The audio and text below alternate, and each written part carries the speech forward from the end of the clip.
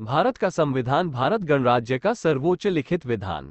भारत का संविधान, भारत का सर्वोच्च विधान है जो संविधान सभा द्वारा 26 नवंबर उन्नीस सौ उनचास को पारित हुआ तथा 26 जनवरी 1950 से प्रभावी हुआ। ये दिन 26 नवंबर, भारत के संविधान दिवस के रूप में घोषित किया गया है। जबकि 26 जनवरी का दिन भारत में गणतंत्र दिवस के रूप में मनाया जाता है। भारत के संविधान का मूल आधार भारत सरकार अधिनियम 1935 1935 को माना जाता है। भारत का संविधान विश्व के किसी भी गणतांत्रिक देश का सबसे लंबा लिखित संविधान है। भीमराव अंबेडकर को भारतीय संविधान का जनक कहा जाता है। भारतीय संविधान सभा के लिए जुलाई 1946 में निर्वाचन हुए थे। संविधान सभा की पहली बैठक दिसंबर 1946 को हुई थी। इसके तत्काल बाद देश दो भागों, भारत और पाकिस्तान में बट गया था।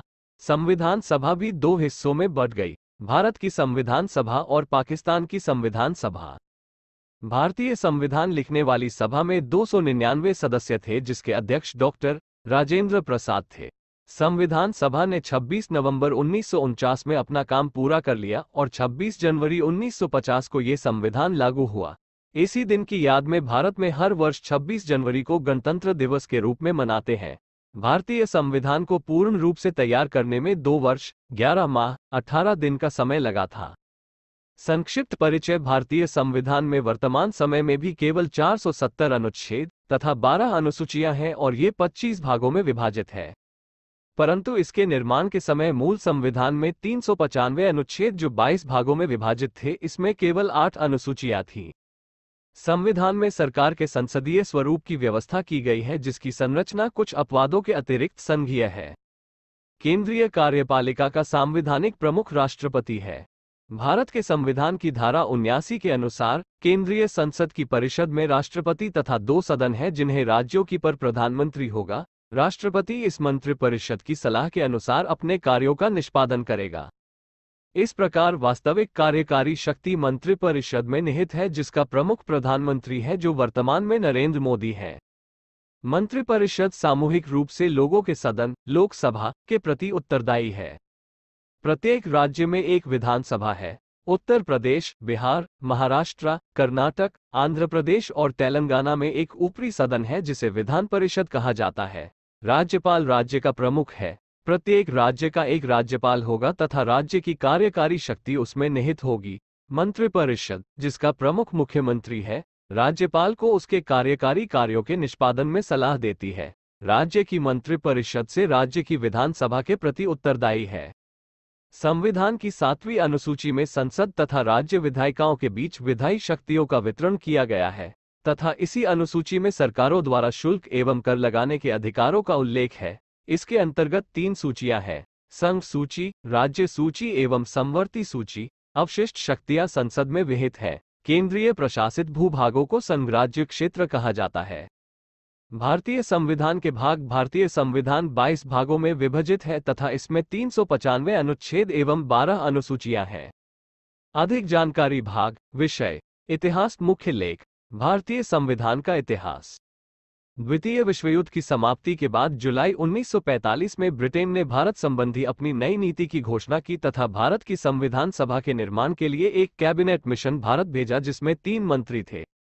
15 अगस्त 1947 को भारत के स्वतंत्र हो जाने के पश्चात संविधान सभा की घोषणा हुई और इसने अपना कार्य 9 दिसंबर उन्नीस सौ सैंतालीस से आरंभ कर दिया। संविधान सभा के सदस्य भारत के राज्यों की सभाओं के निर्वाचित सदस्यों के द्वारा चुने गए थे। जवाहरलाल नेहरू, डॉक्टर भीमराव अंबेडकर, डॉक्टर राजेंद्र प्रसाद, सरदार वल्लभ भाई पटेल, मौलाना अबुल कलाम आज़ाद आदि इस सभा के प्रमुख सदस्य थे। इस संविधान सभा ने दो वर्ष 11 माह 18 दिन में कुल 114 दिन चर्चा की। संविधान सभा में कुल 12 अधिवेशन किए तथा अंतिम दिन दो सौ चौरासी सदस्यों ने इस पर हस्ताक्षर किया और संविधान बनने में एक सौ छियासठ दिन बैठक की गई। इसकी बैठकों में प्रेस और जनता को भाग लेने की स्वतंत्रता थी। भारत के संविधान के निर्माण में संविधान सभा के सभी तीन सौ नवासी सदस्यों ने महत्वपूर्ण भूमिका निभाई। 26 नवंबर उन्नीस सौ उनचास को संविधान सभा ने पारित किया और इसे 26 जनवरी 1950 को लागू किया गया था। इस संविधान में सर्वाधिक प्रभाव भारत शासन अधिनियम 1935 का है। इसमें लगभग 250 अनुच्छेद इस अधिनियम से लिए गए हैं। भारतीय संविधान की संरचना यह वर्तमान समय में भारतीय संविधान के निम्नलिखित भाग है। एक उद्देश्य का 470 अनुच्छेदों से युक्त 25 भाग 12 अनुसूचियाँ। पाँच अनुलग्नक अपेंडिसीज 105 संशोधन। अब तक 127 संविधान संशोधन विधेयक संसद में लाए गए हैं, जिनमें से 105 संविधान संशोधन विधेयक पारित होकर संविधान संशोधन अधिनियम का रूप ले चुके हैं। 124वां संविधान संशोधन विधेयक 9 जनवरी 2019 को संसद में हैश अनुच्छेद अंडस को तीन सौ अड़सठ संवैधानिक संशोधन के विशेष बहुमत से पास हुआ, जिसके तहत आर्थिक रूप से कमज़ोर सामान्य वर्ग को शैक्षणिक संस्थाओं में 8 अगस्त 2016 को संसद में वस्तु और सेवा कर जीएसटी पारित कर 101वां संविधान संशोधन किया। अनुसूचियाँ भारत के मूल संविधान में मूलतः आठ अनुसूचियाँ थीं, परंतु वर्तमान में भारतीय संविधान में 12 अनुसूचियाँ हैं। संविधान में नौवीं अनुसूची प्रथम संविधान संशोधन उन्नीस सौ इक्यावन, दसवीं अनुसूची बावनवे संविधान संशोधन उन्नीस सौ पिचासी, ग्यारहवीं अनुसूची तिहत्तरवे संविधान संशोधन उन्नीस सौ बानवे एवं बारहवीं अनुसूची चौहत्तरवे संविधान संशोधन उन्नीस सौ बानवे द्वारा सम्मिलित किया गया। पहली अनुसूची, अनुच्छेद एक तथा चार, राज्य तथा संघ राज्य क्षेत्र का वर्णन। दूसरी अनुसूची, अनुच्छेद उनसठ, तीन, पैंसठ, थ्री पचहत्तर, छह, सत्तानवे, एक सौ पच्चीस, एक सौ अड़तालीस थ्री एक सौ अट्ठावन थ्री एक सौ चौसठ, पाँच, एक सौ छियासी तथा 221 मुख्य पदाधिकारियों के वेतन भत्ते।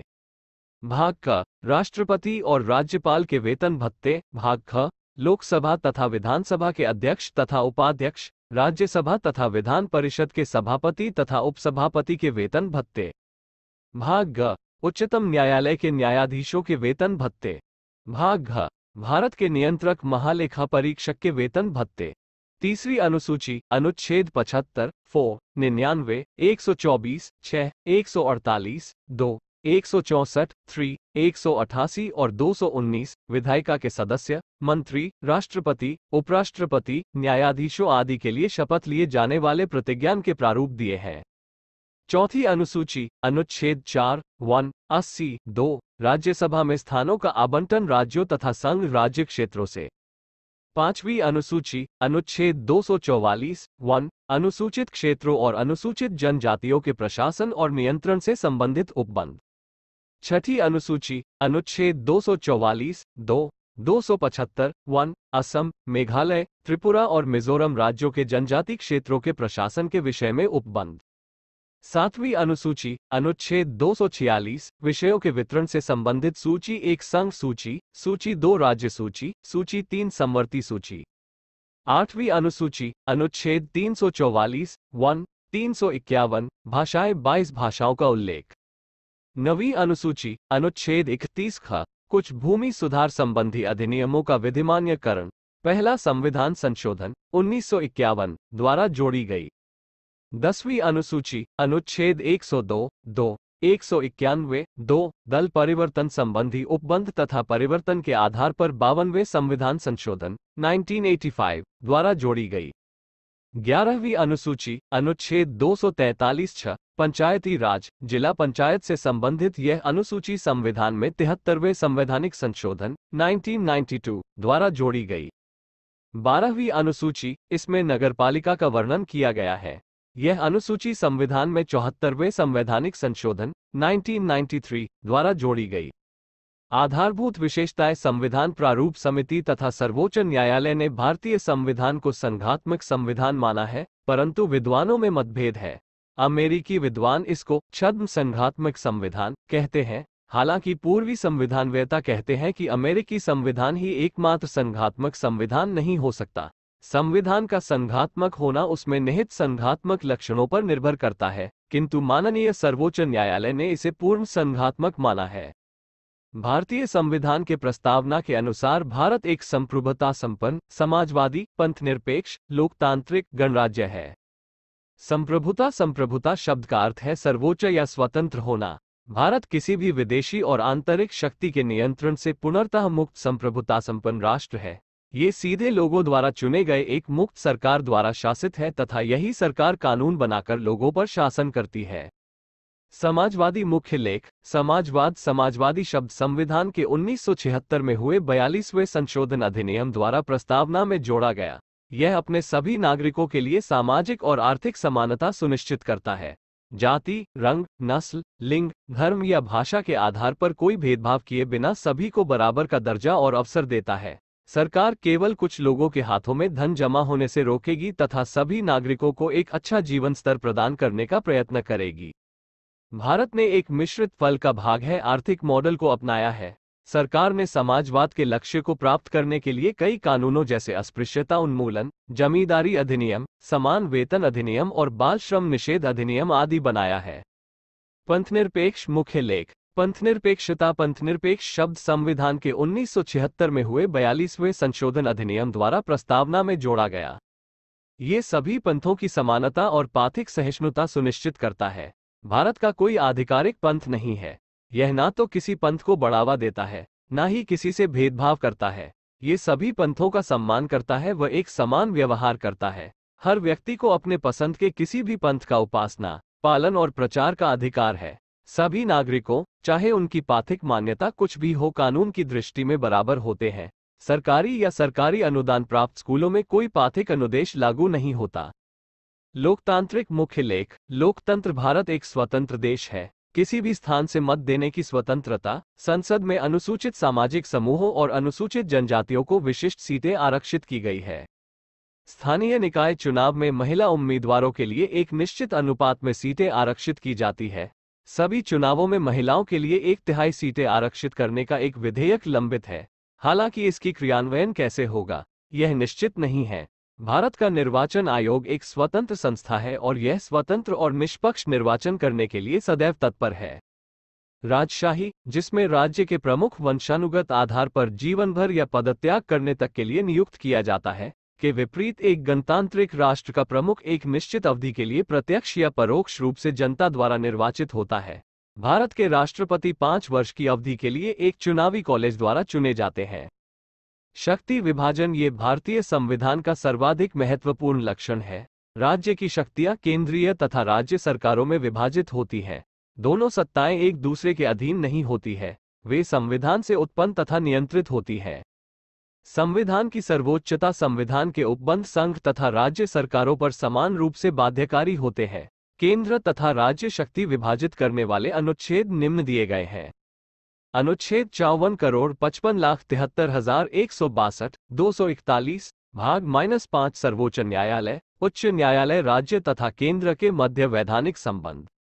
अनुच्छेद सात के अंतर्गत कोई भी सूची, राज्यों का संसद में प्रतिनिधित्व।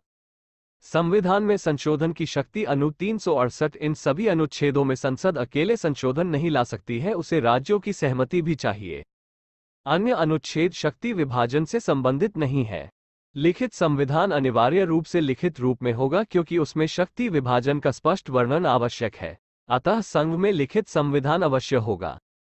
संविधान की कठोरता इसका अर्थ है, संविधान संशोधन में राज्य केंद्र दोनों भाग लेंगे।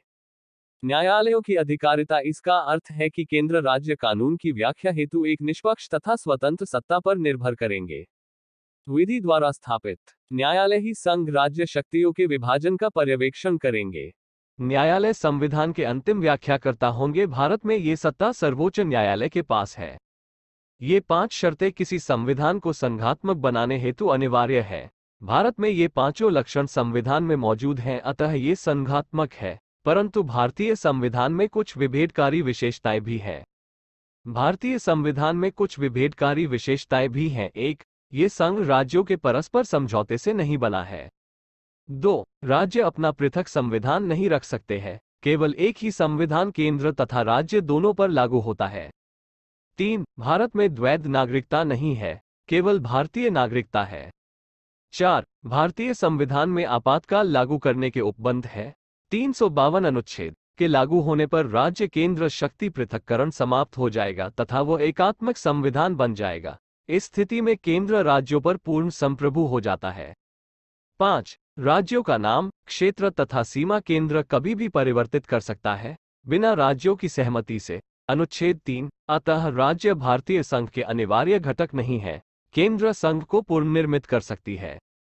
छह, संविधान की सातवीं अनुसूची में तीन सूचियाँ हैं। संघीय सरकार, संघीय राज्य सूची, राज्य तथा समवर्ती सूची, समवर्ती इनके विषयों का वितरण केंद्र के पक्ष में है।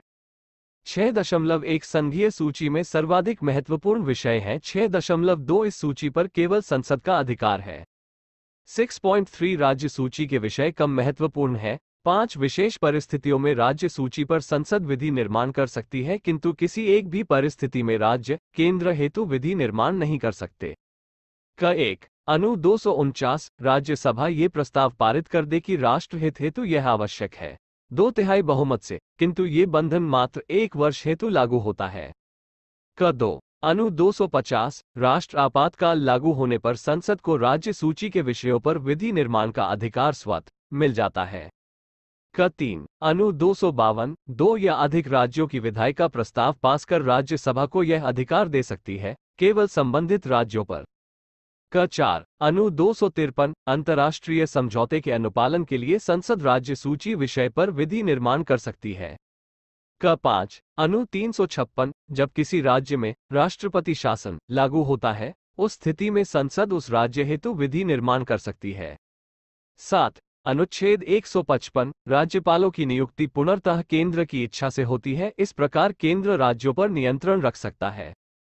आठ अनु 360 वित्तीय आपातकाल की दशा में राज्यों के वित्त पर भी केंद्र का नियंत्रण हो जाता है। इस दशा में केंद्र राज्यों को धन व्यय करने हेतु निर्देश दे सकता है। नौ, प्रशासनिक निर्देश अनु दो सौ छप्पन दो सौ सत्तावन केंद्र राज्यों को राज्यों की संचार व्यवस्था किस प्रकार लागू की जाए के बारे में निर्देश दे सकता है। ये निर्देश किसी भी समय दिए जा सकते हैं। राज्य इनका पालन करने हेतु बाध्य है। यदि राज्य इन निर्देशों का पालन न करे तो राज्य में संवैधानिक तंत्र असफल होने का अनुमान लगाया जा सकता है। दस। अनु 312 में अखिल भारतीय सेवाओं का प्रावधान है। ये सेवक नियुक्ति, प्रशिक्षण, अनुशासनात्मक क्षेत्रों में पुनर्तः केंद्र के अधीन है, जबकि ये सेवा राज्यों में देते हैं। राज्य सरकारों का इन पर कोई नियंत्रण नहीं है। ग्यारह। एकीकृत न्यायपालिका बारह। राज्यों की कार्यपालिक शक्तियाँ संघीय कार्यपालिक शक्तियों पर प्रभावी नहीं हो सकती है। संविधान की प्रस्तावना संविधान के उद्देश्यों को प्रकट करने हेतु प्रायः उनसे पहले एक प्रस्तावना प्रस्तुत की जाती है। भारतीय संविधान की प्रस्तावना अमेरिकी संविधान से प्रभावित तथा विश्व में सर्वश्रेष्ठ मानी जाती है। प्रस्तावना के नाम से भारतीय संविधान का सार, अपेक्षाएँ, उद्देश्य, उसका लक्ष्य तथा दर्शन प्रकट होता है। प्रस्तावना ये घोषणा करती है कि संविधान अपनी शक्ति सीधे जनता से प्राप्त करता है, इसी कारण ये, हम भारत के लोग, इस वाक्य से प्रारंभ होती है। केहर सिंह बनाम भारत संघ के वाद में कहा गया था कि संविधान सभा भारतीय जनता का सीधा प्रतिनिधित्व नहीं करती, अतः संविधान विधि की विशेष अनुकृपा प्राप्त नहीं कर सकता। परंतु न्यायालय ने इसे खारिज करते हुए संविधान को सर्वोपरि माना है, जिस पर कोई प्रश्न नहीं उठाया जा सकता है। संविधान की प्रस्तावना हम भारत के लोग, भारत को एक संपूर्ण प्रभुत्व संपन्न, समाजवादी, पंथनिरपेक्ष, लोकतंत्रात्मक गणराज्य बनाने के लिए तथा उसके समस्त नागरिकों को। सामाजिक, आर्थिक और राजनीतिक न्याय, विचार, अभिव्यक्ति, विश्वास, धर्म और उपासना की स्वतंत्रता, प्रतिष्ठा और अवसर की समता प्राप्त करने के लिए तथा उन सब में व्यक्ति की गरिमा और राष्ट्र की एकता और अखंडता सुनिश्चित करने वाली बंधुता बढ़ाने के लिए। दृढ़ संकल्प होकर अपनी इस संविधान सभा में आज तारीख 26 नवंबर उन्नीस सौ उनचास ई शून्य, मिति मार्ग शीर्ष शुक्ल सप्तमी, संवत 2006 विक्रमी, को एतद द्वारा इस संविधान को अंगीकृत, अधिनियमित और आत्मार्पित करते हैं। संविधान की प्रस्तावना 13 दिसंबर 1946 को जवाहरलाल नेहरू द्वारा संविधान सभा में प्रस्तुत की गई प्रस्तावना को आमुख भी कहते हैं। के एम मुंशी ने प्रस्तावना को राजनीतिक कुंडली नाम दिया है। बयालीसवें संविधान संशोधन अधिनियम 1976 द्वारा भारतीय संविधान की प्रस्तावना में समाजवाद, पंथनिरपेक्ष व अखंडता शब्द जोड़े गए। संविधान भाग तीन व चार, नीति निर्देशक तत्व मुख्य लेख, नीति निर्देशक तत्व।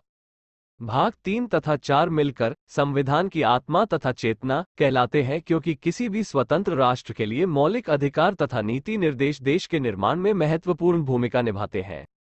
नीति निर्देशक तत्व जनतांत्रिक संवैधानिक विकास के नवीनतम तत्व है। सर्वप्रथम ये आयरलैंड के संविधान में लागू किए गए थे। ये वे तत्व हैं जो संविधान के विकास के साथ ही विकसित हुए हैं। इन तत्वों का कार्य एक जन कल्याणकारी राज्य की स्थापना करना है। भारतीय संविधान के इस भाग में नीति निर्देशक तत्वों का रूपाकार निश्चित किया गया है। मौलिक अधिकार तथा नीति निर्देशक तत्व में भेद बताया गया है और नीति निर्देशक तत्वों के महत्व को समझाया गया है। भाग चार का, मूल कर्तव्य मूल कर्तव्य, मूल संविधान में नहीं थे। बयालीसवें संविधान संशोधन में मूल कर्तव्य, दस, जोड़े गए हैं। ये रूस से प्रेरित होकर जोड़े गए तथा संविधान के भाग चार, क, के अनुच्छेद इक्यावन, अ में रखे गए हैं। वर्तमान में ये ग्यारह है। ग्यारहवा मूल कर्तव्य छियासीवें संविधान संशोधन में जोड़ा गया।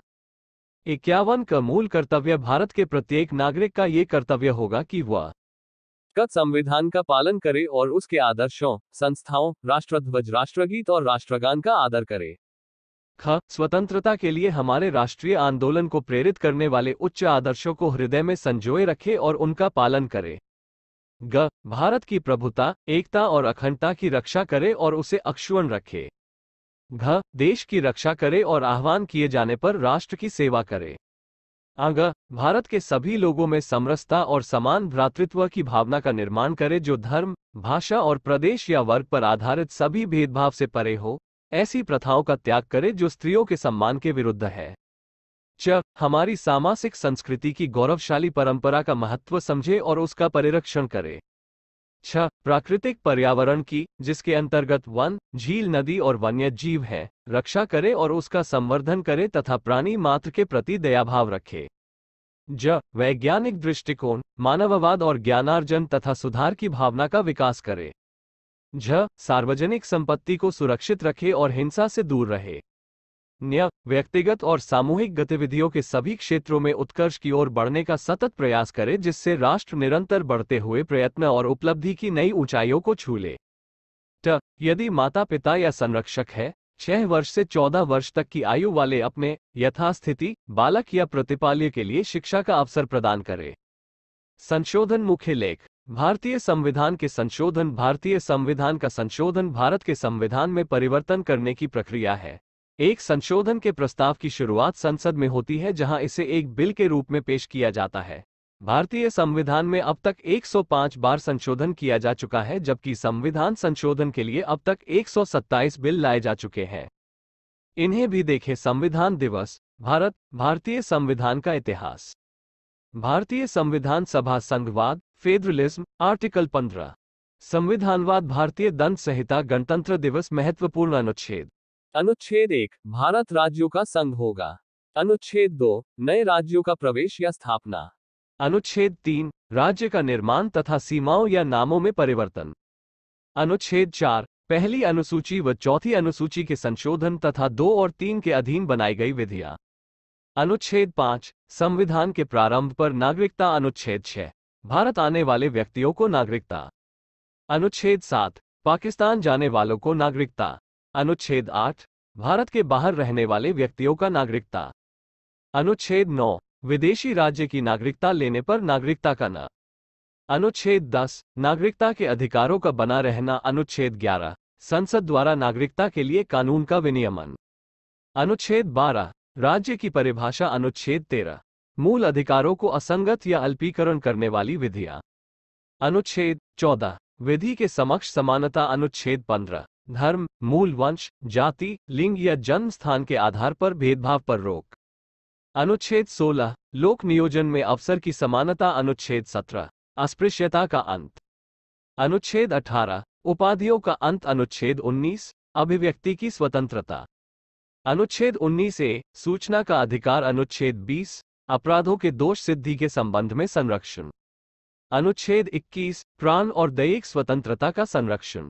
अनुच्छेद 21 ए, सिक्स से 14 वर्ष के बच्चों को शिक्षा का अधिकार, निजता का अधिकार भी अनुच्छेद 21 के अंतर्गत ही आता है। अनुच्छेद 22 कुछ दशाओं में गिरफ्तारी से संरक्षण अनुच्छेद 23 मानव के दुर्व्यापार, बेगारी एवं बलात् श्रम पर प्रतिबंध।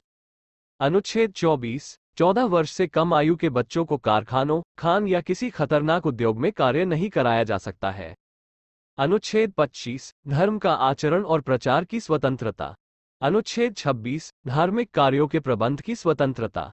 अनुच्छेद 29 अल्पसंख्यक वर्गों के हितों का संरक्षण। अनुच्छेद 30 शिक्षा संस्थाओं की स्थापना और प्रशासन करने का अल्पसंख्यक वर्गों का अधिकार।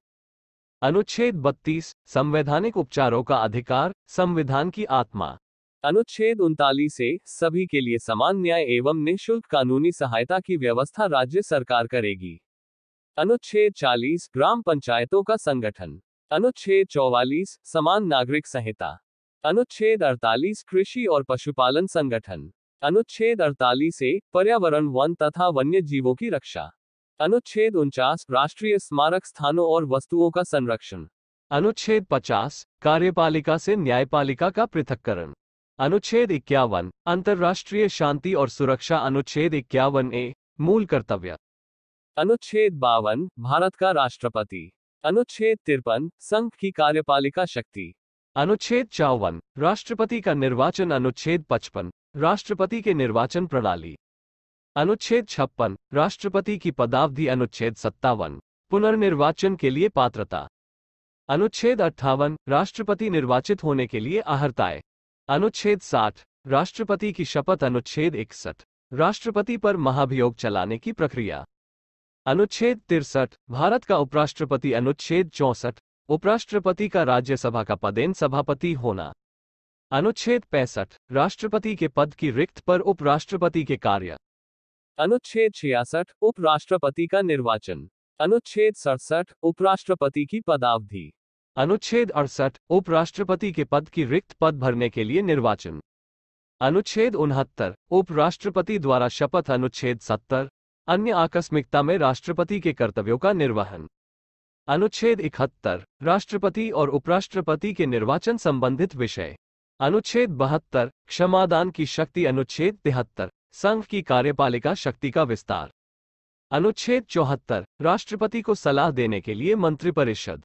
अनुच्छेद पचहत्तर, मंत्रियों के बारे में उपबंध अनुच्छेद छिहत्तर, भारत का महान्यायवादी अनुच्छेद सतहत्तर, भारत सरकार के कार्य का संचालन अनुच्छेद अठहत्तर, राष्ट्रपति को जानकारी देने के प्रधानमंत्री के कर्तव्य अनुच्छेद उन्यासी, संसद का गठन अनुच्छेद अस्सी, राज्यसभा की संरचना अनुच्छेद इक्यासी, लोकसभा की संरचना अनुच्छेद तिरासी, संसद के सदनों की अवधि अनुच्छेद चौरासी, संसद के सदस्यों के लिए अहर्ता अनुच्छेद पिचासी। संसद का सत्र सत्रावसान और विघटन अनुच्छेद सतासी। राष्ट्रपति का विशेष अभिभाषण।